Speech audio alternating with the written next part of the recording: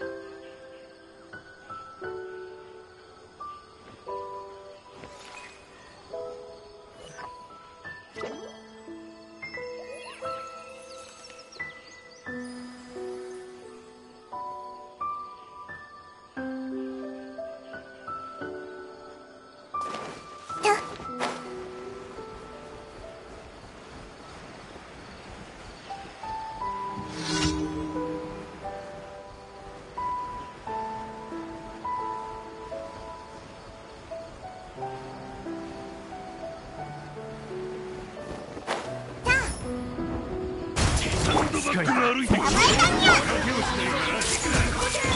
さあ踊るよ。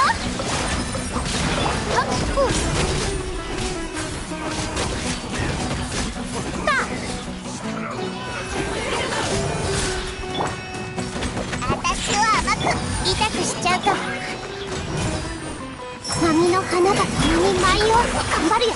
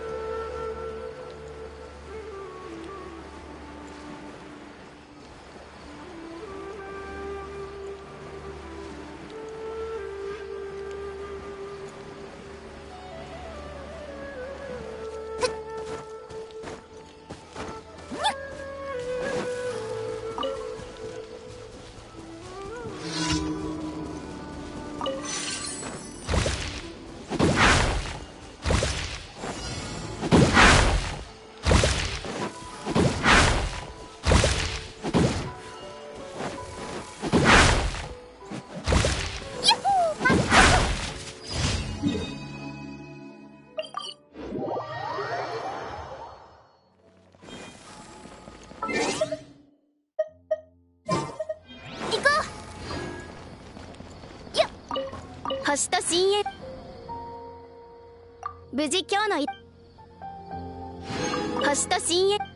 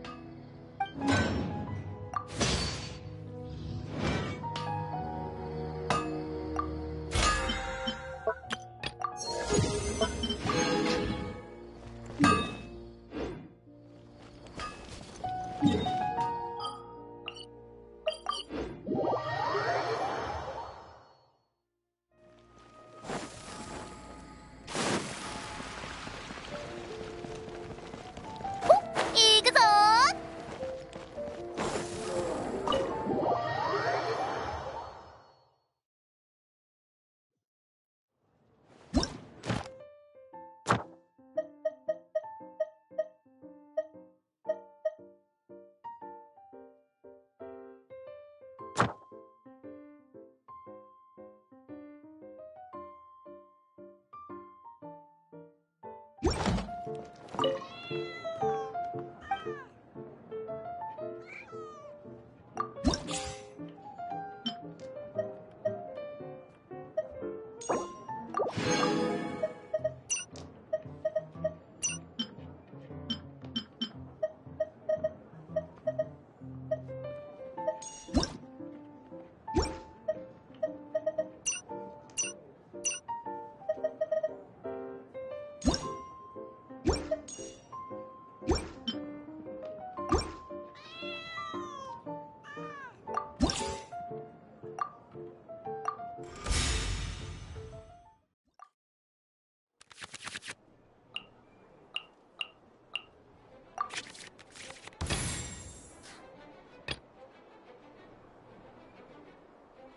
即戦即決。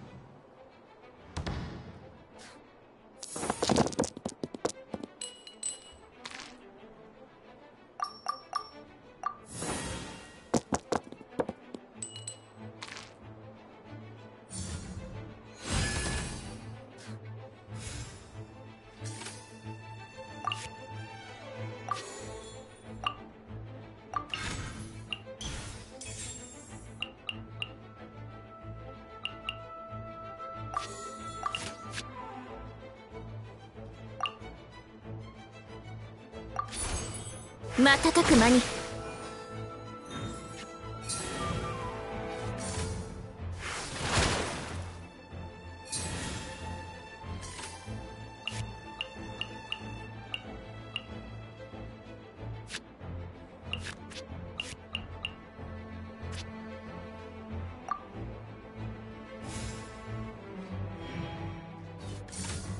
万物の形へ変化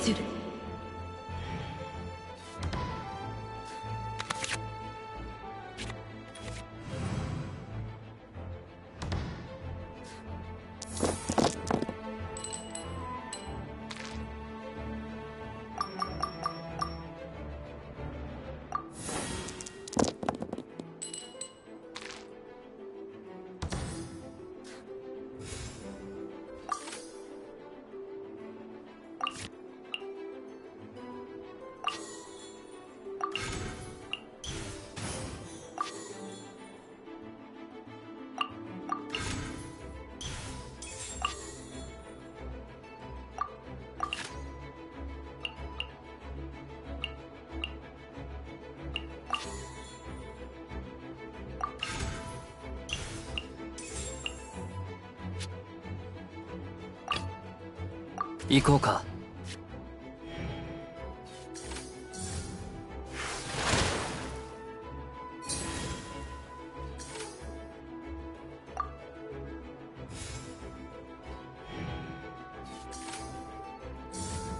万象に勝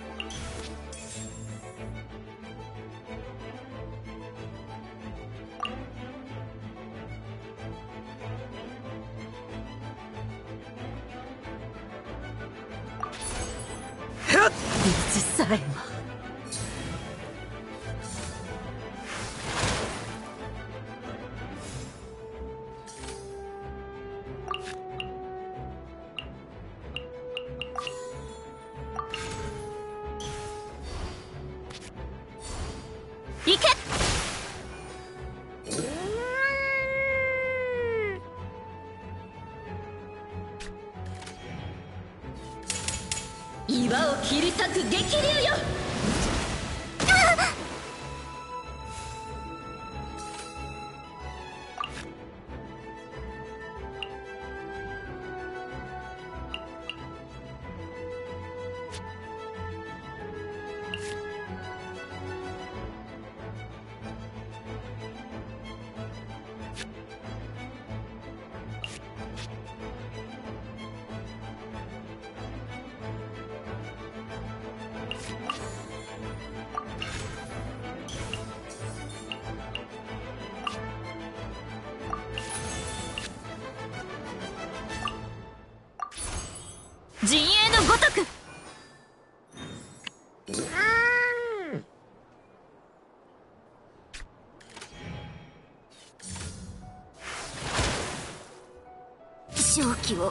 間違え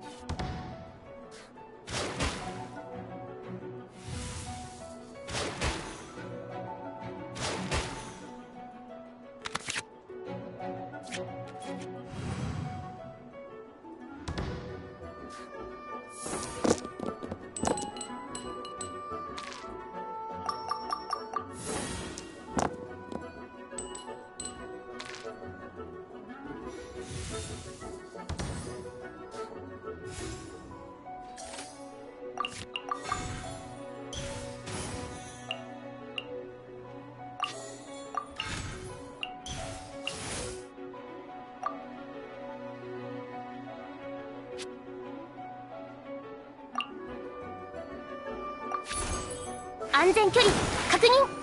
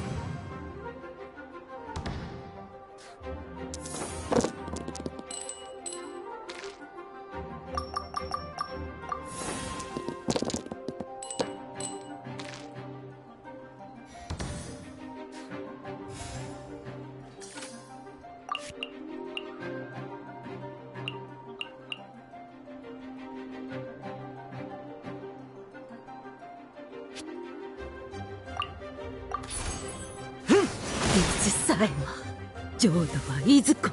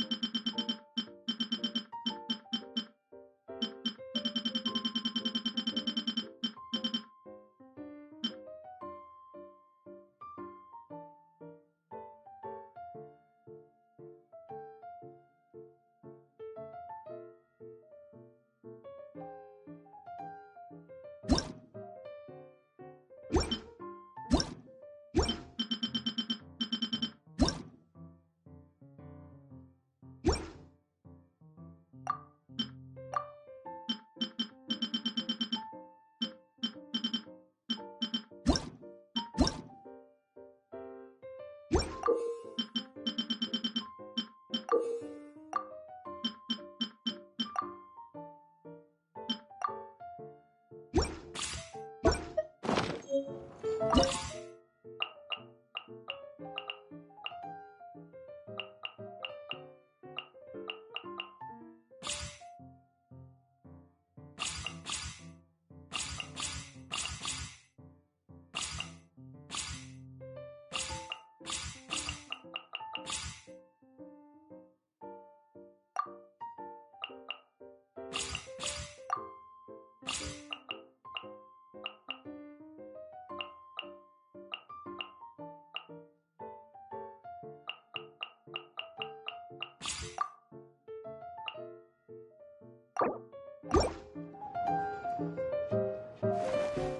問題あらへんよ。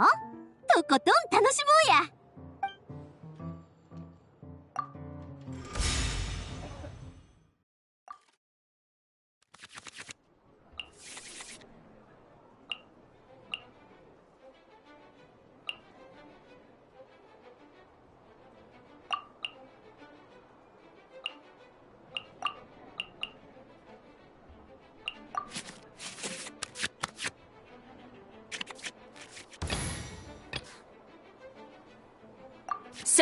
即決。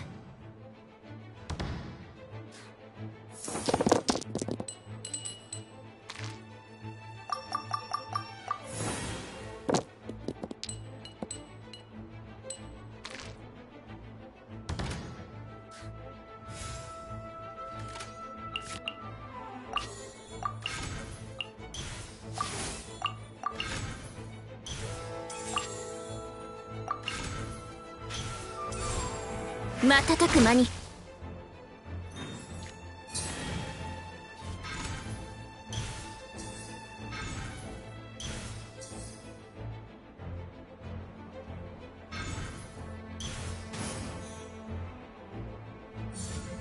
火の用心。さっさと終わらせるぞ。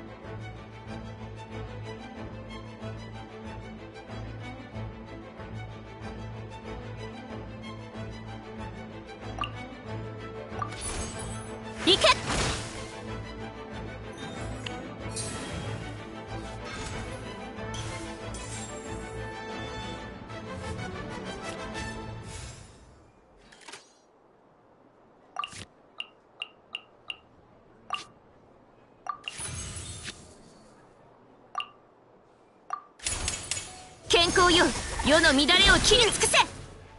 想定内の。ハンデはくれへんみたいやな。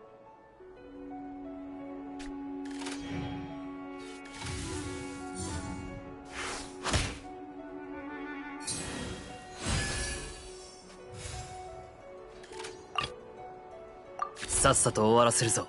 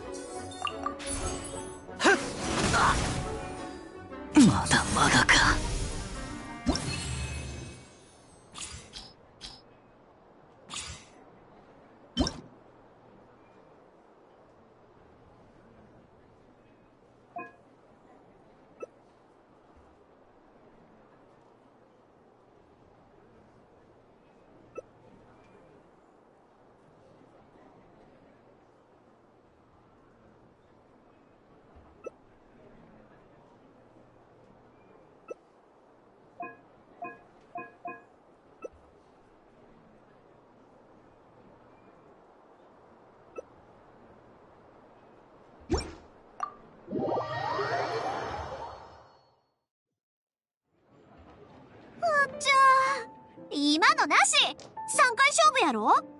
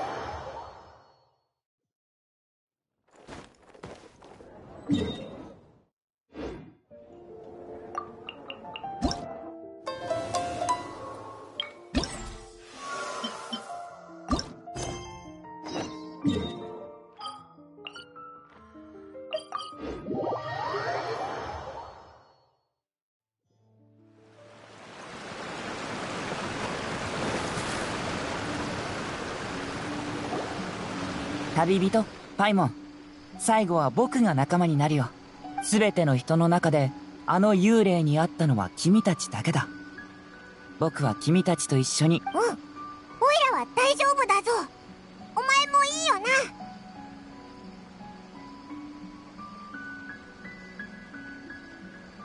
今はどうにも手がかりが少なすぎる。少し調査したい場所があるから後で一緒に見に行ってみよどこのことだ？うまず僕たちが初めて会った場所さ。君たちの話によれば君たちはそこで幽霊と出会多分そこには。本当に行くのか？うーん。オイラたち飛んで火にいる夏の。彼女が僕たちを待ち伏せないか心配なのかい？僕にと彼女が見つからないと悩んでいたところなんだ。そんなに簡単。ヒーゾーお前肝が据わってるな出会う事件が多ければ自然と怖くなくなるものさ。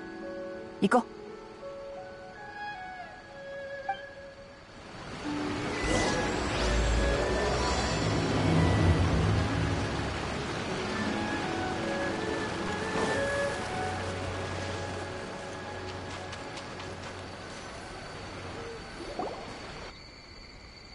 君たちが最初に幽霊に出会った場所はここだ。もちろん。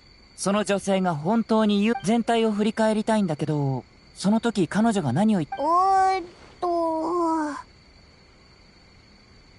私に近づくべきじゃないって言ってた。それにオイラたちが離れなかったら魂をここにとどまらせるって。うーん。もうあの時のことは思い返したくないぜ。それで？それからオイラは目の前が暗くなって頭もフラフラしてきてそれになんだかあの幽霊の周りに黒い霧がまとわりついてる感じがして。なるほどね。その話だと確かに幽霊のたたりって感じがするね。平蔵だ。もともと完全に否定してたわけじゃないよ。幽霊だとしても知性があるのなら何か切実な目的のオイラたちの魂が欲しいんじゃない？それは多分ただの脅しでしょ。えそうなのか？なんて言えばいいかな。あもし僕に魂を取るなんて能力があるとすればそれにそんな秘密を持った誰かが辺りをうろつくことは許す。それもそうだな。今考えられる可能性は2つだけだと思う。まずは本当に君たちの魂を刈り取りたいけどそのためには何らかの条件を満たさない。でももし本当に君たちが呪われてるならだからこの可能性は低い。オイラたちを追い払って何をするつもりなんだ？オイラたちを危険させて肝試し大会の商品を独り占めにしようとして。あそっか。そんなはずないよな。じゃあなんだろう？君たちの話から考える限りじゃ彼女には悪でもこれだけじゃまだ何もわからない。上でも僕の勘がこの推測はどっ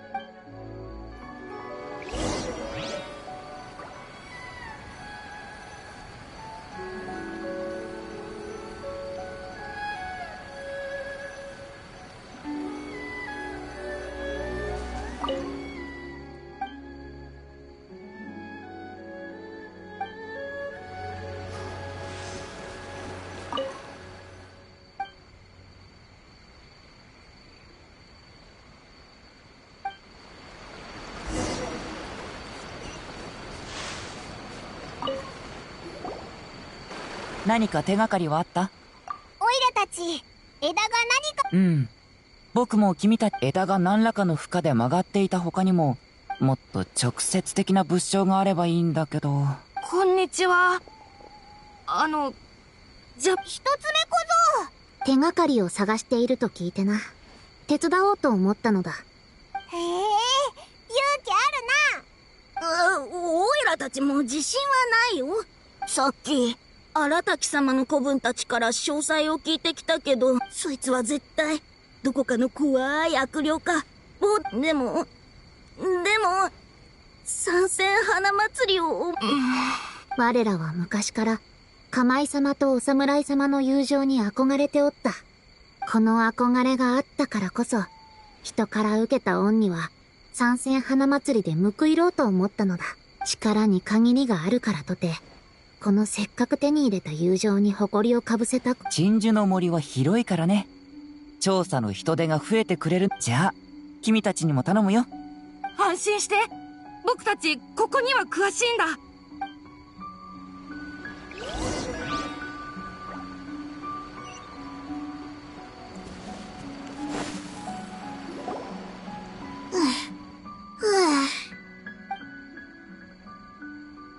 見てくれ。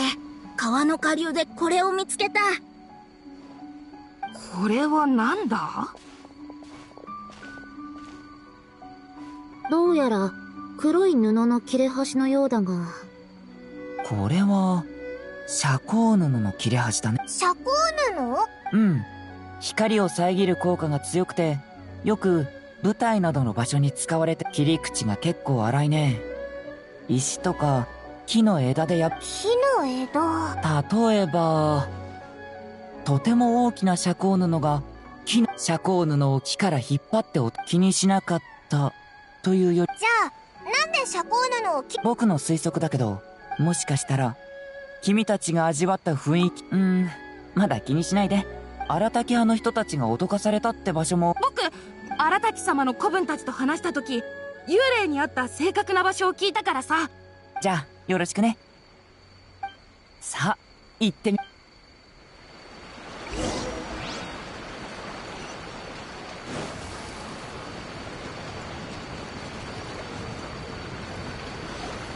ここだここを通った時辺りが突然暗くなっん？なんだか、それって、オイラた、まずはこの辺りで、前みたいに調査をしようか。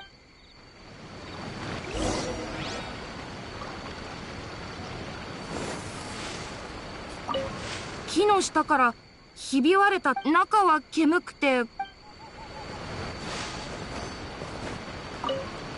炎が残っておる痕跡から見て、何かを模して作ったもの。隣の石の割れ目に、少し取ってクンクンしてみたら、頭が、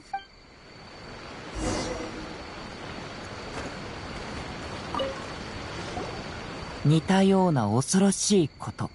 どうやら僕たちは、今ほぼ確信できるのは、君たちがあったそ、彼女は不思議な力も持ってない。ただ前も、小道具？そんなものでできるのか？まず、肝試し大会の存在自体が、ここの雰囲気をますます恐ろしげ。当時の君たちは、妖怪の三人に脅かされたところだった。その上謎の女性に出会えば、緊張のせいで呼吸は荒くなり、彼女があらかじめ撒いていた睡眠花粉、その瞬間、彼女は遮光布をさっと抜き取って、鬼火を燃やし、み、ということは、彼女の言動。うーい、オイラを騙すでももう一つだけ問題がある。僕にこの件の調査、これはただの小細工でできることじゃない。でも、もしか、オイラ、頭が痛くなってきたぜ。うん。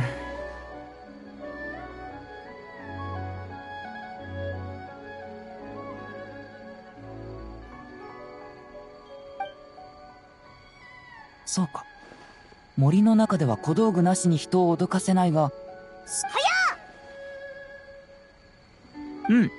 集団行動の可能性を除けば、残るはただ一つ。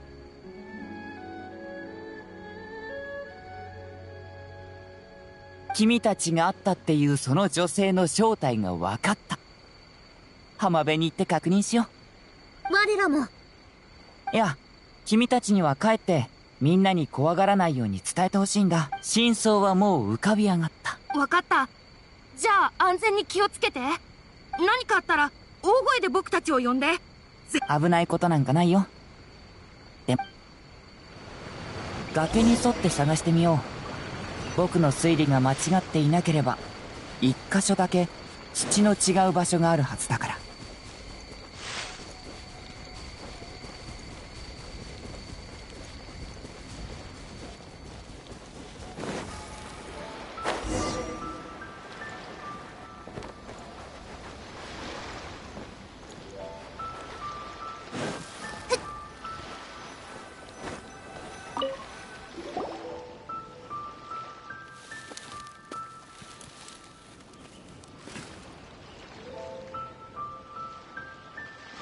分かってたわ。やっぱりここまで探しに来たのね。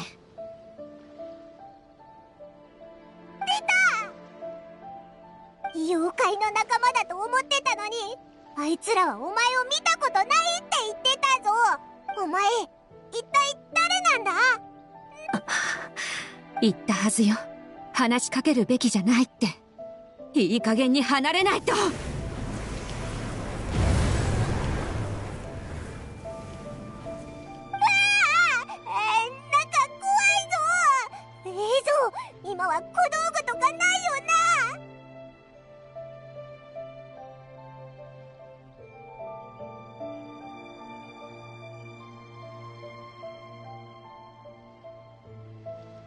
動かない方がいい。君のためにもね。そんな揚力じゃ、僕たちを脅かすことはできないし、君の消滅を早めちゃうよ。揚力？なぜそのことを？物をよりどころに生まれる妖怪は、本体以外にも、本体の近くにいれば多少揚力を使えるけど、本体から離れ、そして、本体が壊れてしまったら、それをよりど、物霊とでも言えばいいかな？それとも、つくも神の方がいいか？ややこしいことはいいわ。自分の名前がある。羽生田千鶴よ。しずるなんでオイラたお前も妖怪だったら？一つ目小僧たちの考えをそれに一緒に秋津遊芸を遊んだ時も楽しくそう。だからこそだからこそ君たちにもあんな悲しみを味わっ悲し妖怪たちから釜井様と物の符が知り合うあの話本当は続きがある。出会った時物の符はおよそ25だった。10年後再会した二人はすぐにまた意気投合した。飲み遊び磨き合って初めはただ気の合う仲間同士だった二人が互いを思い合う親友になった。そしてまた10年物の符の剣術は極まりなんと試合に勝つことさえあった。釜井様は驚いて酒を断ち修行をし再戦に燃えていた。でも次の10年目人は約束を守れなかった。南で起こった戦に駆り出されていたから。妖怪にとって10年など一瞬。釜井様は気にも留めなかった。けれど次の再会の時釜井様は目を疑った。物の符は弱い65で傷だらけ。白髪だらけだった。おい小僧。まだ剣を握れるか？自分は年じゃもうそれには応えられん。こたびは別れを告げに参ったのだ。そうか。秋津羽遊びにもう一度付き合ってくれるか？それもよい。物の符は全力を尽くしたけれど衰えた体力のため早々に退場となった釜井様は羽子板を置いてしばらく黙り込み長いため息をついた。実に遺憾だ。実に楽しみという言葉から実に遺憾までたったの数十年。釜井様の要望が変わることはないのに目の前にいる旧友は老け込んでいく。傍観者の方が冷静だと言うけれど、この一部始終を目撃した私は残酷なことに気づいたの。私たちは人と寿命が異なれば、性分も異なるけれど、同じ土地で生活している。お互い触れ合い惹かれ合って、夢から目覚める時に残されるのは、永遠の思念と、どうしようもない苦痛だけ。見識の広い大妖怪でさえこうだったのよ。単純で善良な普通の妖怪たちが、別れの時に味わう悲し。うん。だからお前は、この砂浜に身を潜め、最後の日が訪れる時を待っていた。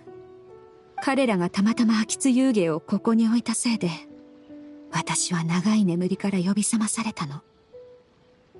釜井様と人のもののふの話を聞いたからといって、無限の期待と熱情を抱いたまま、人と触れ合ってほしくなかった。だから、あんなおかしなことをして、ここに来る奴を脅かそうとしたのか？前、浜辺に閉じ込められた人もいたらしいけど、あれもお前なのか？なんでそいつにだけ、私の力はもう、だいぶ弱まっているわ。ほとんどは、集めた道具で人を脅かすだけだったけれど、でも、あいつは欲するものを貪り、悪ことを知らなかった。だから揚力を使って、あいつを懲らしめたの。そうだったのか。お前って、意外と正義感があるんだな。そういえば、あの釜井様と侍の話、お前はどうやって後半のな、答えたくないならいいよ。僕には分かったからね。君の正体は、この羽子板、だろ？羽子板？数百年前、妖怪カマイと人間の侍が秋津羽遊びで使った強い揚力の影響を受けて、そこに意識が芽生えたんだ。数百年の時が過ぎ、揚力による守りも虚しく、羽子板本体は朽ち果てる寸前。それから、僕の推測が正しければ、この羽子板、まったくその通り実に面白い推理じゃ。わっぱたち肝試し大会3戦目の勝利。ミコそれに、み、ごめんなさい。八重様のご指示で。どうじゃ？驚いてくれたか？恐怖が未知によるものであれば局面も混乱すればするほどよい。そしてとうとう主催側の者までが謎の失踪を遂げるこれ。やっぱりわざとオイラたちをビビらせたのかよ。瞳。まず戻って他の者に肝試し大会のし真相もはっきりしたことだし、僕も依頼人に会いに行こうかな。二人とも、じゃあね。そういえば、ミコ、羽子板を三戦ミコ、八重様。とある年の三千花祭りわらわは狐西宮様の傍らで秋津羽遊びをなさっあの時汝を目にしたんじゃ？思い出した。あなたは狐西宮様の肩に乗っていらっしゃった。あの、先日わらわは浜辺で散歩していたんじゃがこの近くに懐かしい揚力を感じ揚力はかすかなものじゃったが汝を見つけた？汝は木の上に座って遠くにいる旅人我慢しろ。人と関わるな。そう言って自らを戒めておる。いつかしら？あなたに全く気づかなかった。汝はそこまで力が弱っておるんじゃ。本当はずっと自分を責めておったんじゃろ。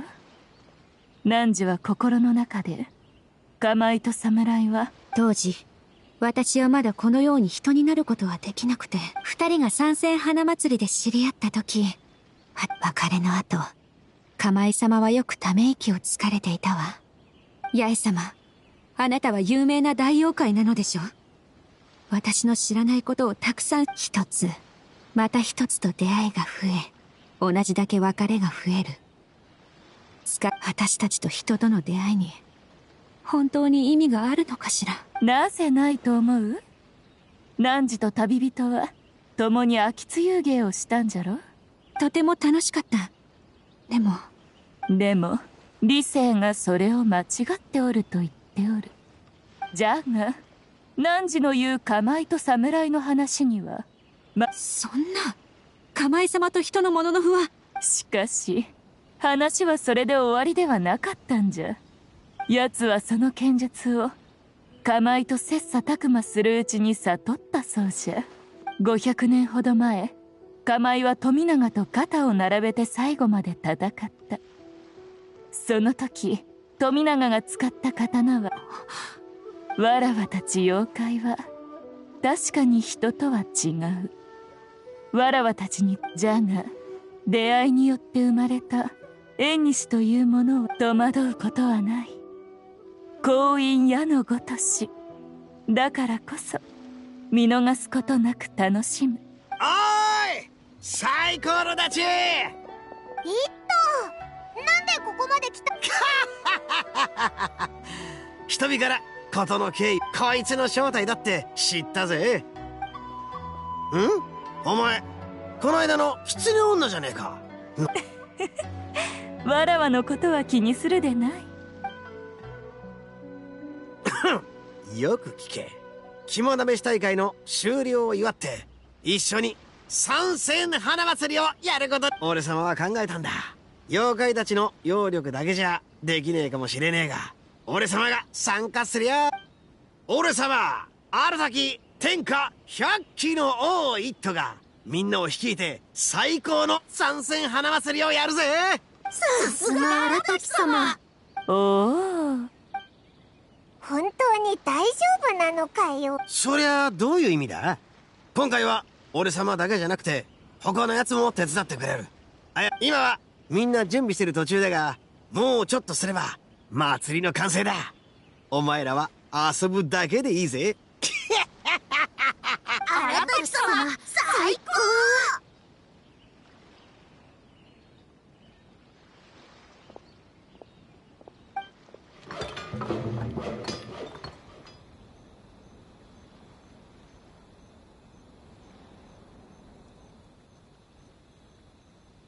祭りと言われればわらわが行かぬわけにもいくまい？ああ祭りを回るのは久しぶりじゃ。出てくる時に酒を持ってきてよかイットのやつたまには頼れるじゃないか。ひひ祭りうまいもの。おいらの出番だぜ。ええ。君たちさえよければ。祭りはもう始まってるみたいだぞ。早く行ってみようぜ。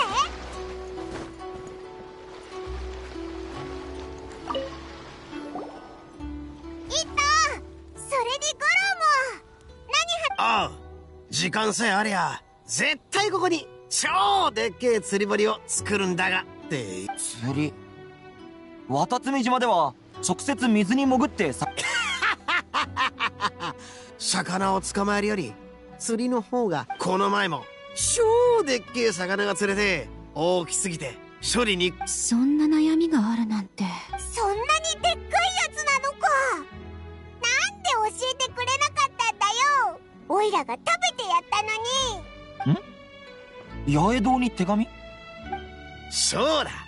俺様は月刊漢字に投稿してひなさんに相談したんだ奇遇だな。俺も普段そこで副業をしてるんだが。ん？超でっけえ魚が釣れたって悩みか？まさか。まさか釣りで俺様と互角に渡り合える奴が存在するってことなのか？ダメだ。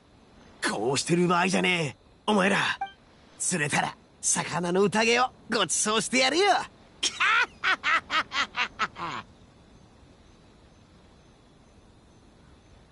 あとちょっと難しいな。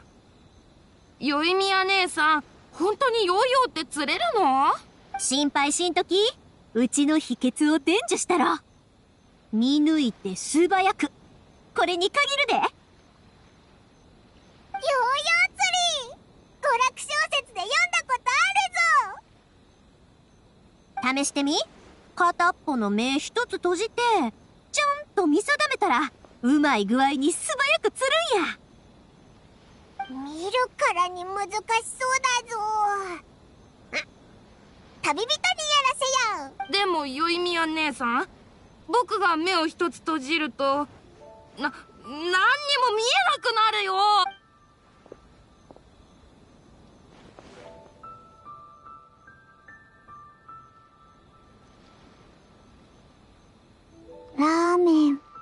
美味しい。そうですね。久しぶりにいただきました。あ綾香は普段ラーメンをあまり食べないのか？ああなたたちでしたか。すみません。ラーメン2つ追加でお願いいたします。脂っこく塩分も多いからと周りに食べる機会を制限されてしまうのです。大変ねうんうん。だから綾香はケーキを鍋に入れたんだ。ほうえっとそれは忘れてください。ふうお腹いっぱい。少し眠い。施設。そういえば昔の妖怪たちの祭りには何か特別な出店はありましたか？話せば長くなるけど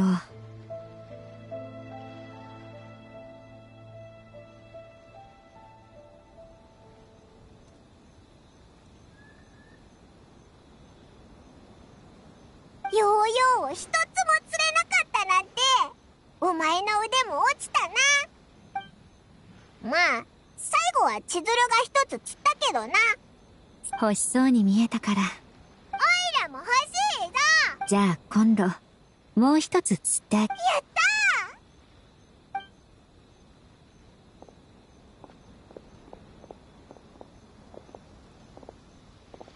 旦那これはいつもと比べて高すぎるでしょ祭りだからってそ露店を出すのにもお金がかかるんだ。ちょっとばかし高く。じゃあお面を5つ買うから3割。はいはい。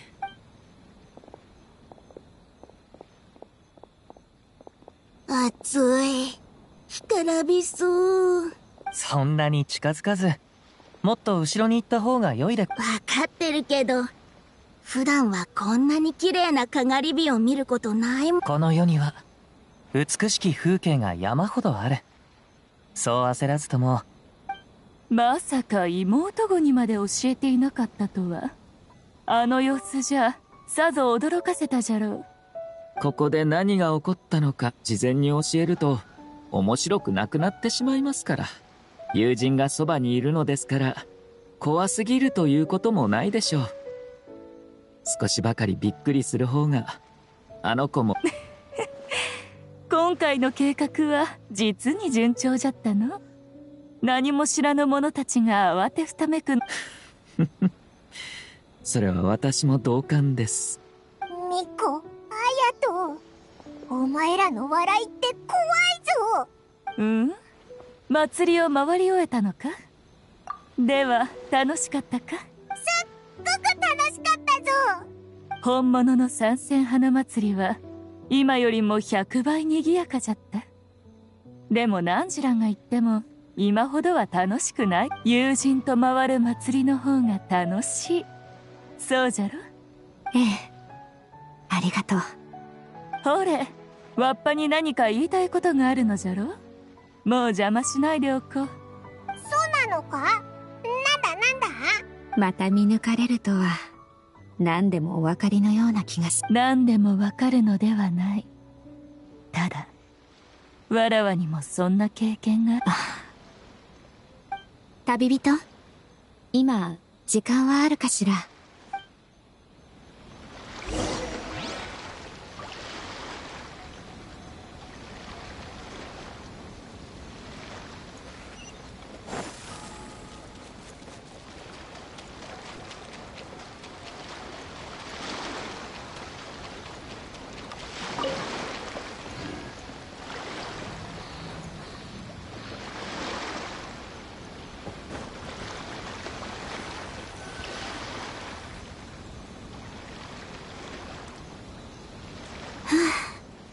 ここにしましょう。ありがとう。付き合ってくれて。実はね、初めて自分が人に化けられるって、羽子板の化けた妖怪は、祭りから生まれた妖怪だもの。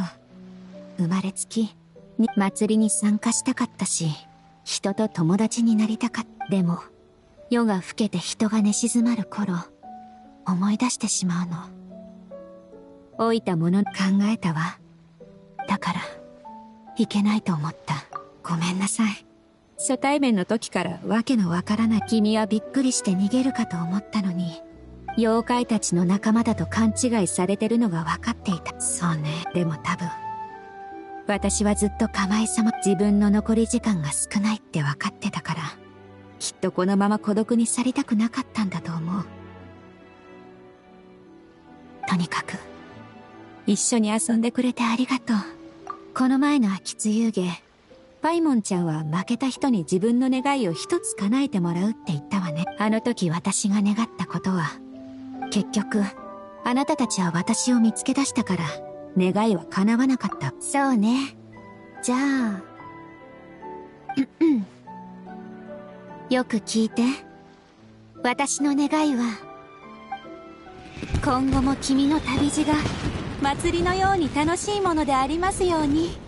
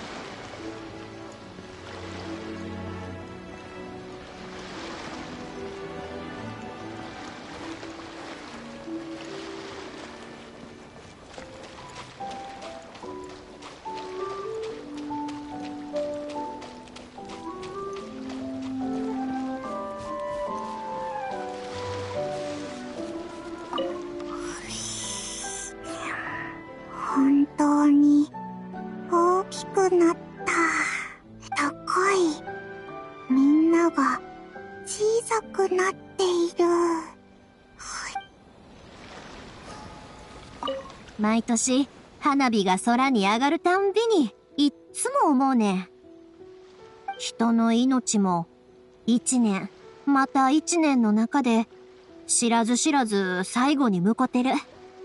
でも、うちはこれが悲しいことやとは思わへんよ。花火はパッと消えてしまうけど、情は一生もんやもん。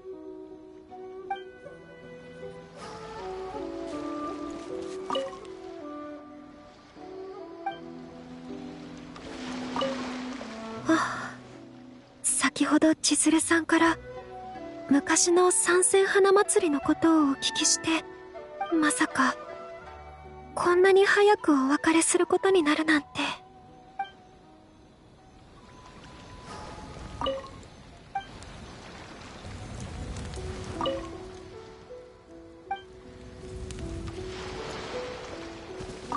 この度の肝試し大会妖怪たちの思いに気づいた時最初はよく考えて、かえってあだとなるかもしれないと思い直しました。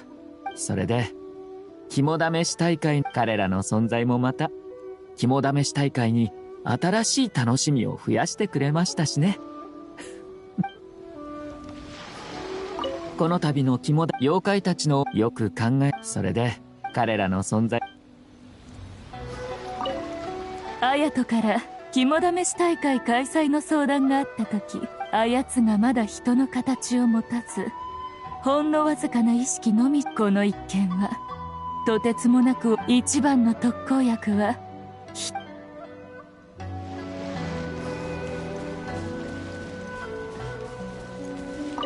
カズハ最近は忙しくない。ある事件を。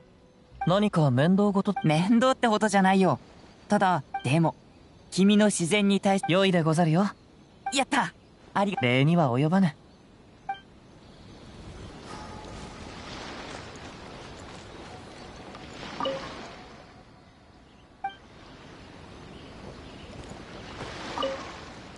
若が肝試し大会が始まる前に全てを手配なさった。でも思い返してみる。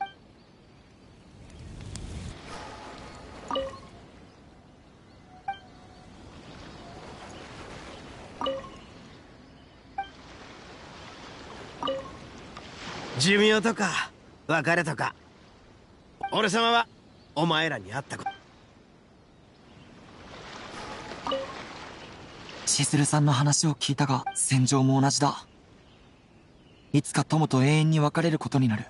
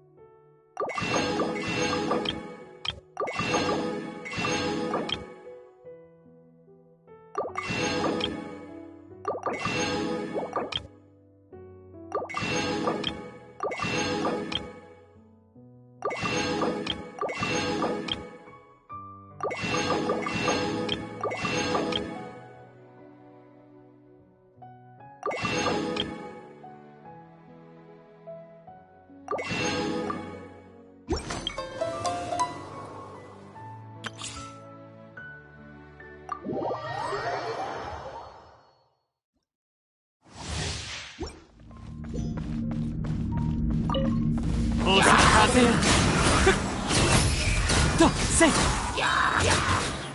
ザコ殿グオパーヒヨ元気出してよ。師匠の技を食らいな属性を見下ろさぬいや君ごとき。僕を直視する気か？せいふっと。熱々でしょ？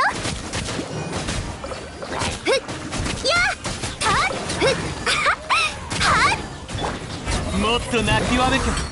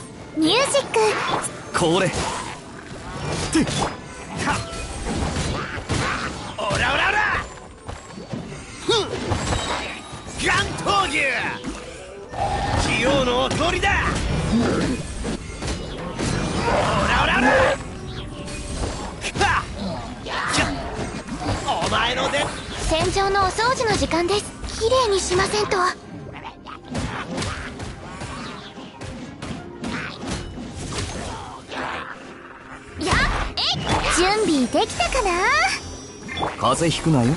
こいつはどうだ？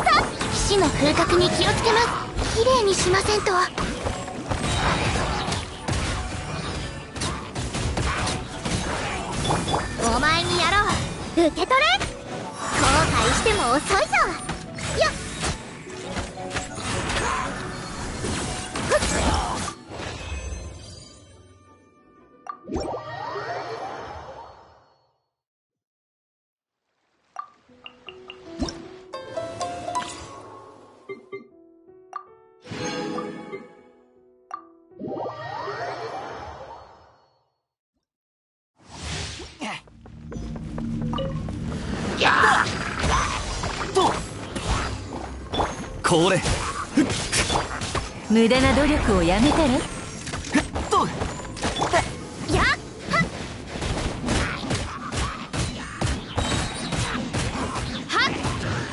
メイドの礼儀に気をつけます。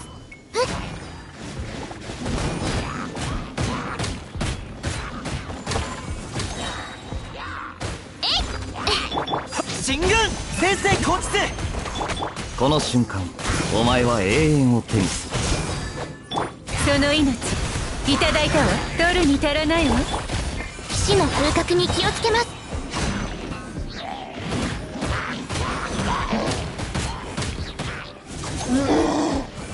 やっ。岩の重さは？俺につけ！ついてこい！だメイドの礼儀に気をつけます。やっ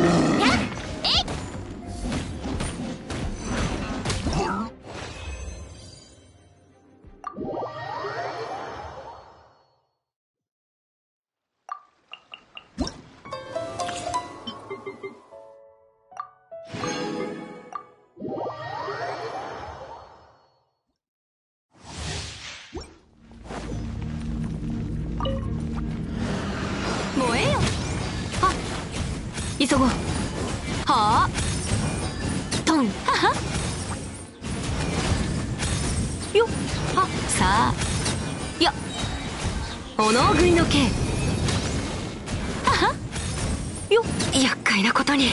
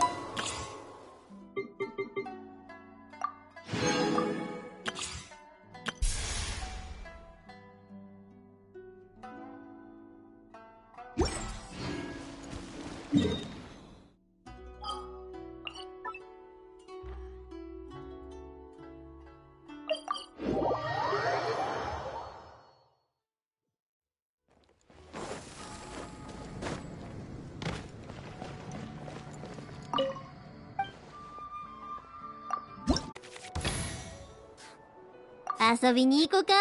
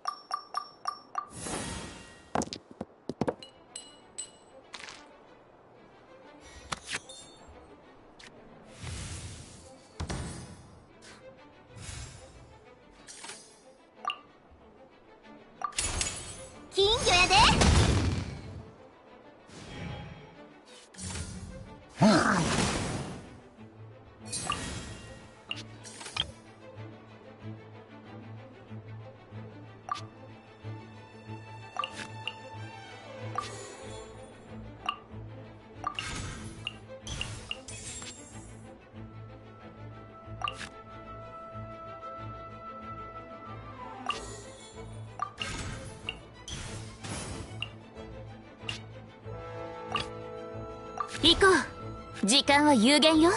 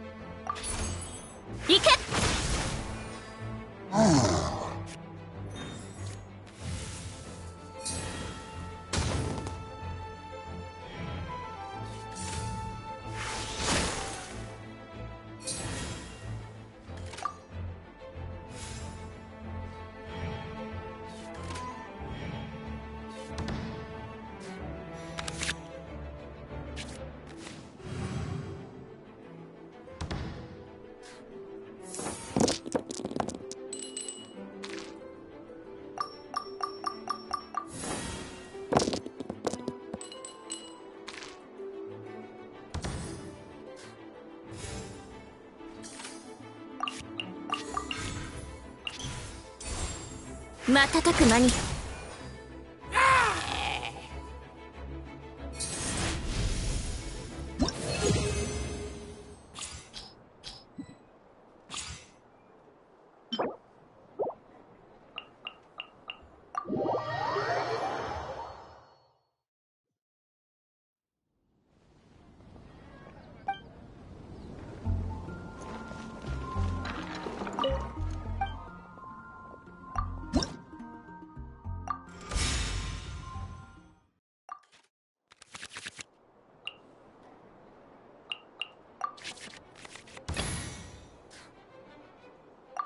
でもやるん？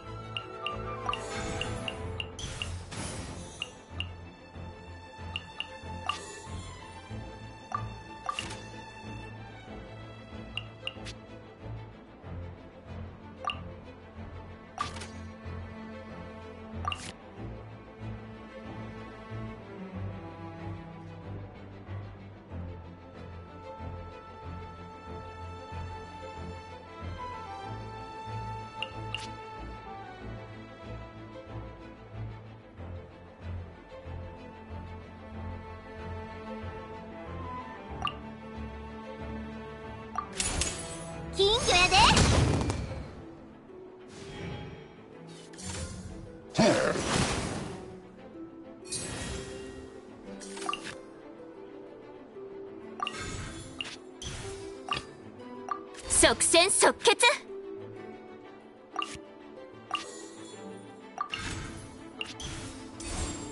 瞬く間に。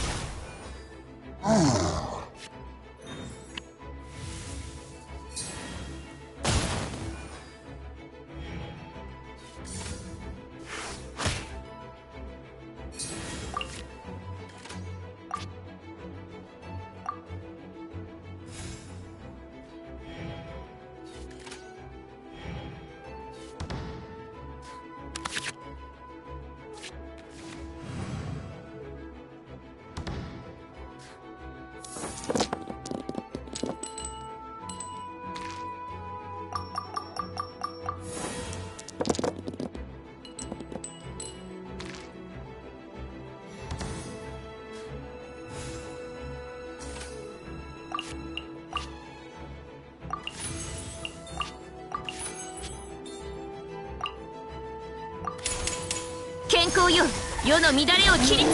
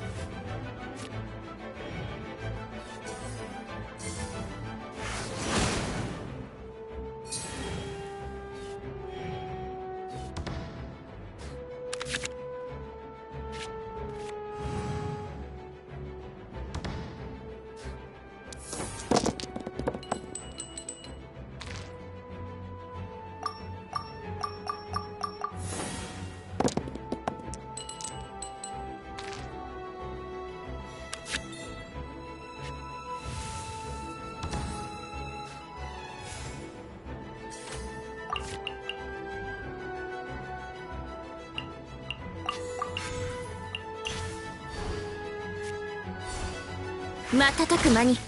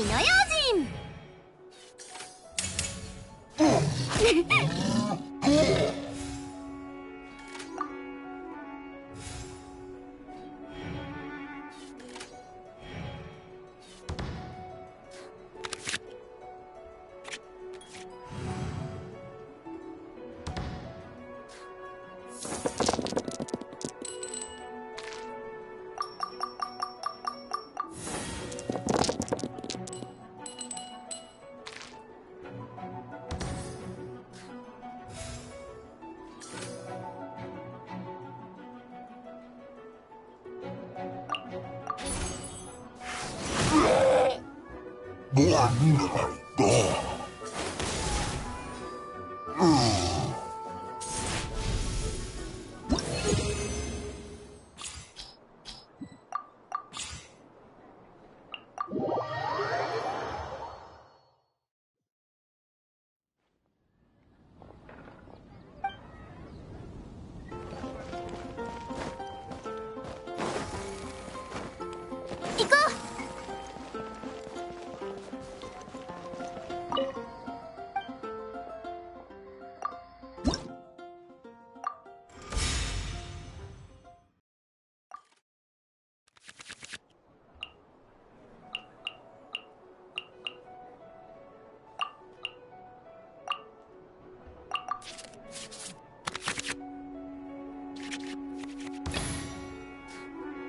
遊びに行こうか？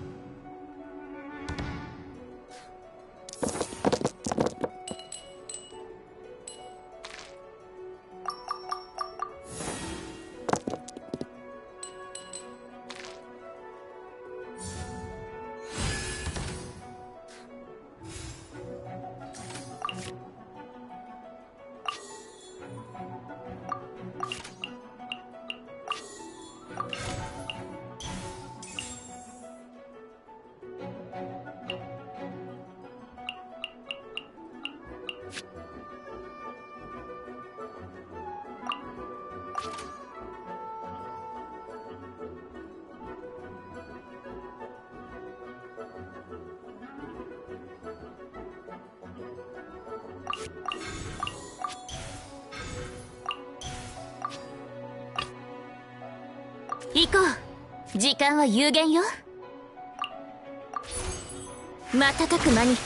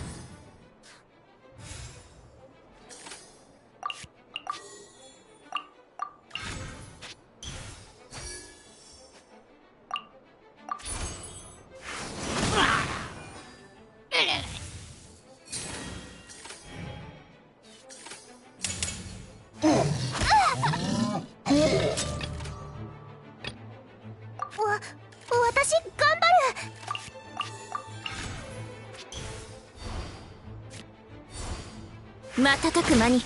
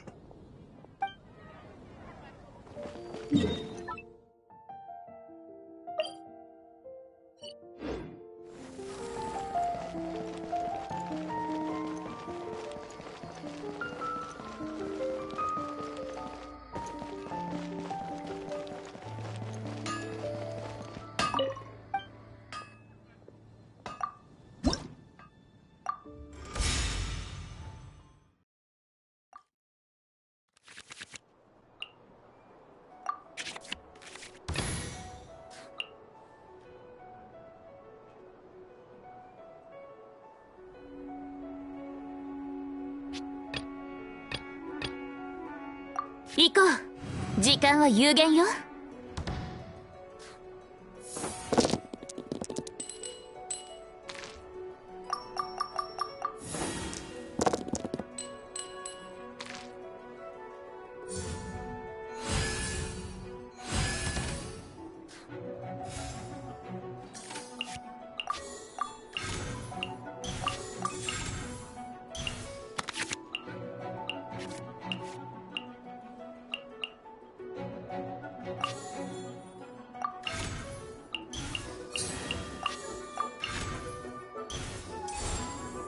瞬く間に。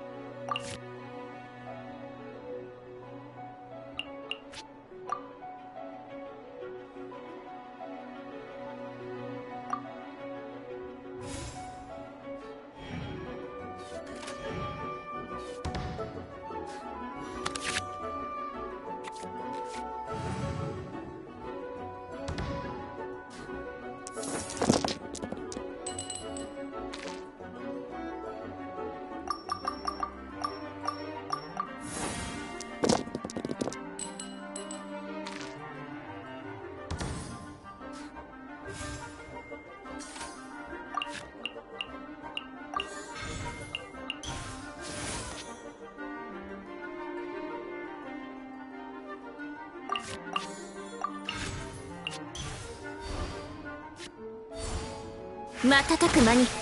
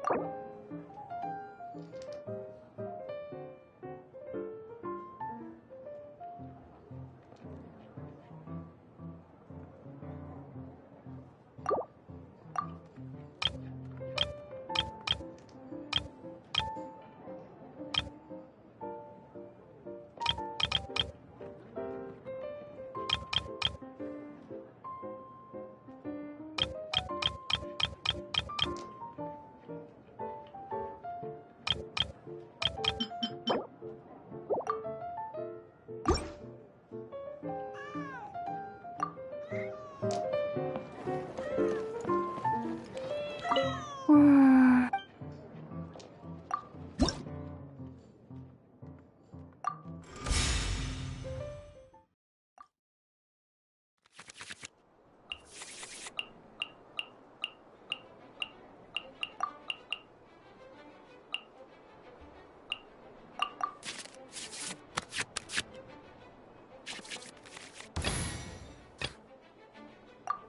戦即決。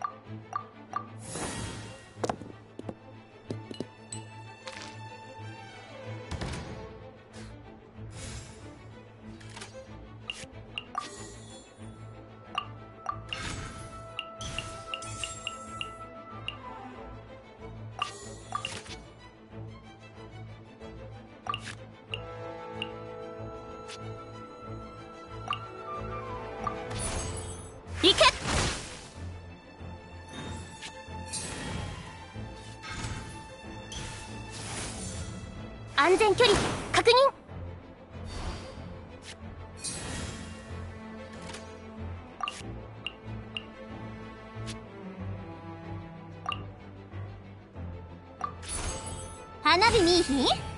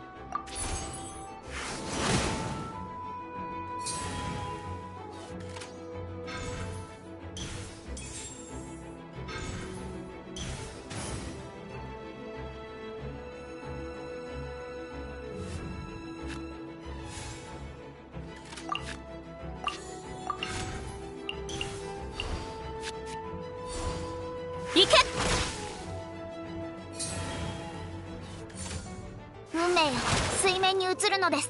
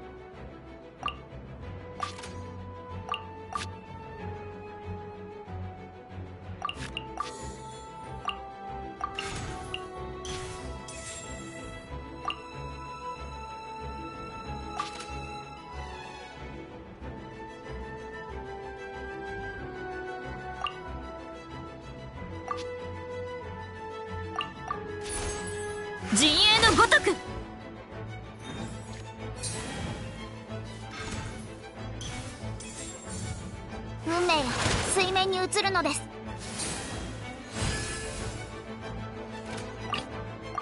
遊びに行こか？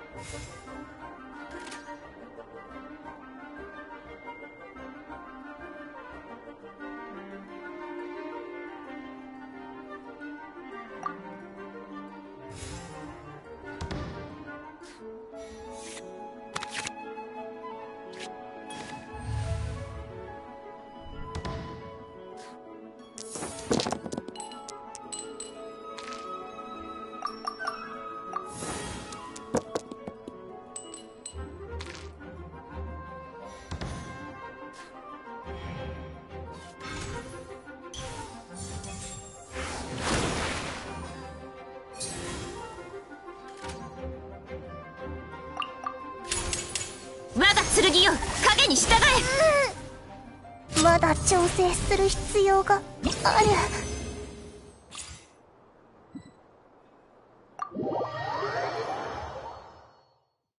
誤差の部分を修正しな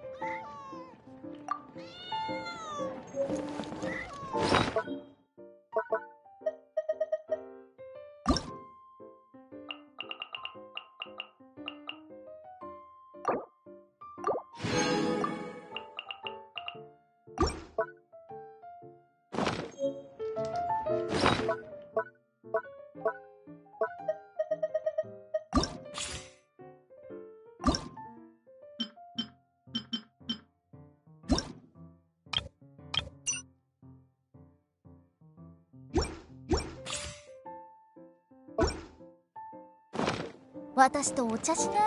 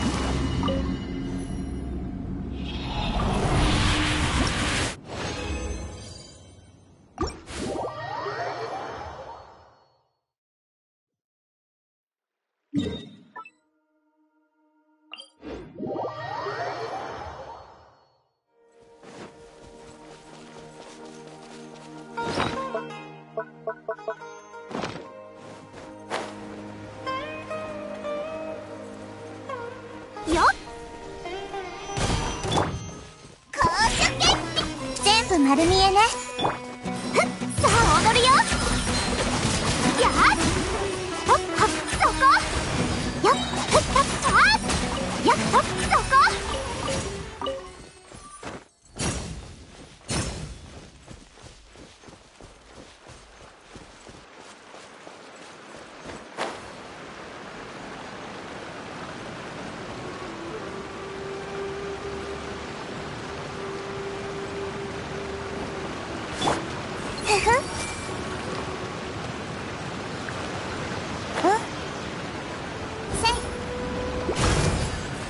丸見えね。